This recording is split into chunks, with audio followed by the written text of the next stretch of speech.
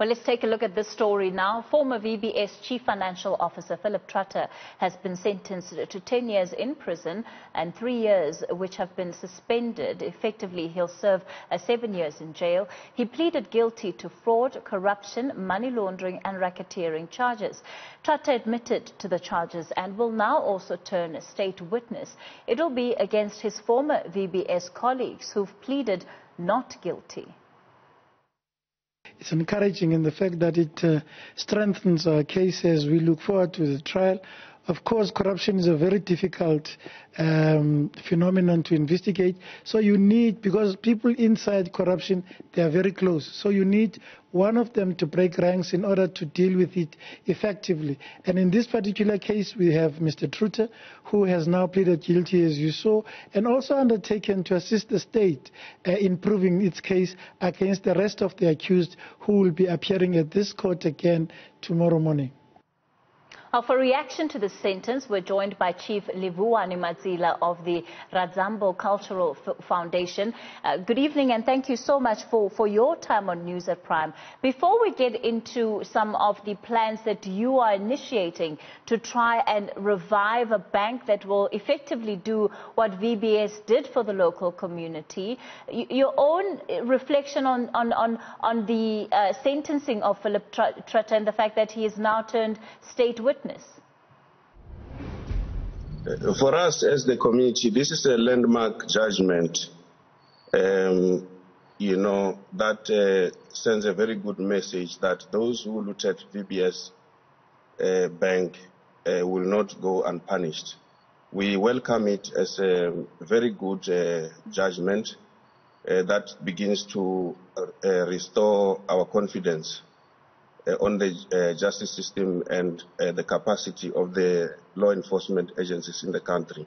So this is very good news for us as a start. You've had time to uh, look at the full impact of what the collapse of VBS has done to local communities. What would you say are, are some of the biggest things that, that have revealed themselves within the last two years that it, that it has not been in, exi in existence or it has not been functioning? The, our uh, social uh, support systems uh, and the support we got in, in terms of the funding and financial assistance from uh, VBS collapsed, which meant that we were left uh, much more poorer and poverty levels have gone so much high. And in the circumstances that we are in under COVID, we were hoping that a bank like VBS will, um, you know, lend us some more money, have financial schemes to make sure that we survive throughout. But what we are sitting with is that we have got uh, the victims that are in the form of uh, burial societies and stokvels and ordinary people who sit without money at all, and they don't know when and how and how much are they going to, to get back in terms of the deposits they made in VBS. So the social crisis that the collapse of VBS has left uh, in, in our communities is huge. It's, it's very uh, difficult for us to cope with the devastating effects of the collapse of the bank your trust and the local shareholders forum have been in negotiations with the Reserve Bank uh, to try and revive VBS. They, they seem to be not budging, budging, and they said that that license is effectively going to be withdrawn. Is that the case right now? So, so in your efforts to revive VBS, is that even a possibility?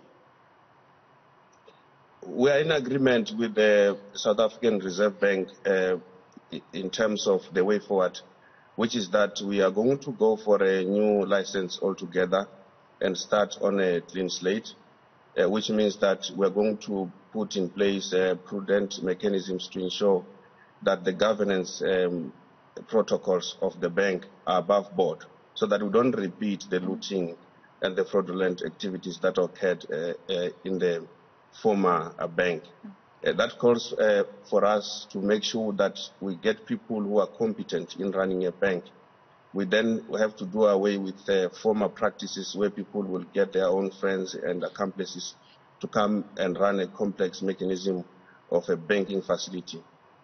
A part of what made VBS so successful was that it was an initiative that was uh, driven by the community, but also largely funded by the community. When it comes to capital to get this up and running, where will you be looking to? Uh, the capital is there uh, all around us in the community. The community has got uh, so much capital. We've got people we've got uh, businesses that are running uh, we, we, have got a, a very good uh, financial environment to draw from.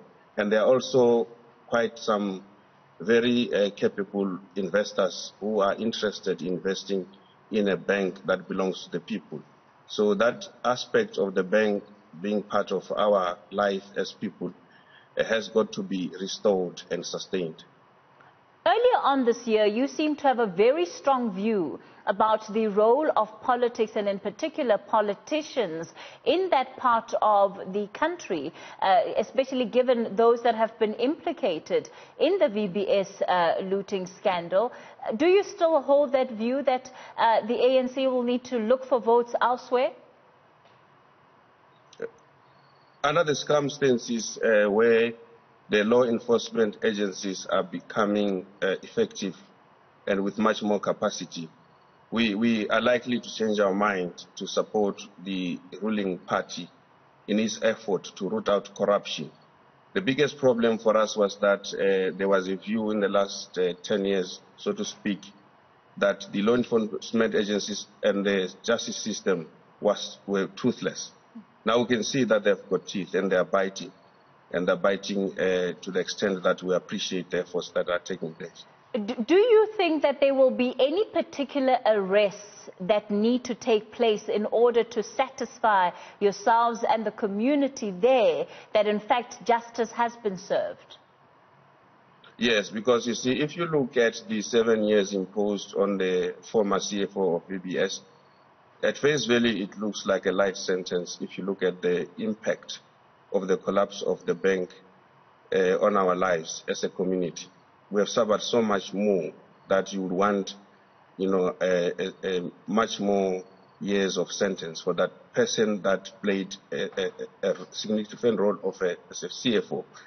But we, we accept that to be a trade-off so that he will assist the state and ourselves as the community to uncover the truth as to what happened to the bank because we want the truth. In that sense, we are saying that everybody who has been involved in the collapse of the bank must be brought to book and they must face the consequences of their action. And we are calling on everybody to be honest and come clean so that the process can unfold smoothly so that we come to a better conclusion on the way forward where people, you know, uh, face consequences for their action or lack uh, thereof. And just lastly, in terms of your own processes, processes with the Reserve Bank, how long before um, you are able to set up another mutual bank that will serve that community? That is discussion we are having with the uh, Reserve Bank. We had a meeting a few days uh, ago where they were taking us uh, stepwise through the detailed process of applying for a bank. We are very excited about it. Uh, it can take us a year or two, but we are ready to comply with their requirements so that by the time we set it up, there will be no repeat or recurrence of what happened with the VBS collapse. Chief Livhuwani Matsila of the Radzambo Cultural Foundation, thanks for your time on News at Prime.